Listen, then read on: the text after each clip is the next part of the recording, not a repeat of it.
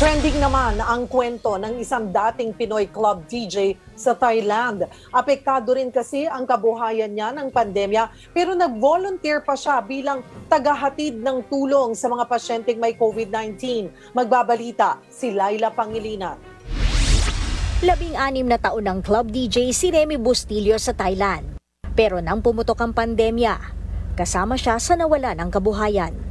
Una niyang naisip na pagkakitaan ng pagsistreaming ng online games. Pero habang tumatagal ang krisis, nakita ni Remy ang dami ng nangangailangan sa Thailand.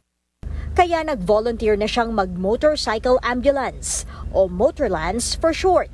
I joined Motorlands as a full-time, no, to save people from uh, uh, COVID patients people, to save them by giving them oxygen.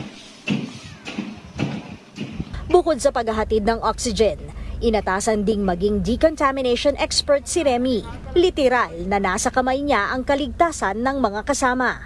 Remind them na na how to unwear the PPE. I'm using a uh, uh, mix uh, solution for for disinfectant. Pag nahubad na yun totally, uh, i-sprayan pa yun one time do sa katawan nila. So my job is to take those uh, toxic things like yung PPE back to the HQ at itapon sa tamang uh, lalagyanan. No? Lord, maraming salamat po sa pagkain. Nagagamit din daw ni Remy ang kaalamang ito para hindi niya mapasahan ng virus ang kanyang mag-iina na kasama rin niya sa Thailand.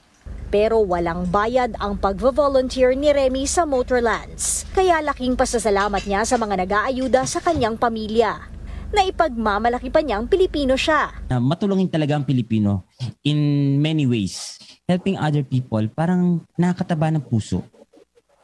Nakaka, nakakagaan ng damdamin. And seeing them, seeing them smile and say thank you, thank you po. So, kapon mak, kapon makap. At syempre, wala nang mas pa-proud pa kay Remy, kundi ang mismong pamilya niya. Para sa 1PH, Laila Pangilinan, News 5.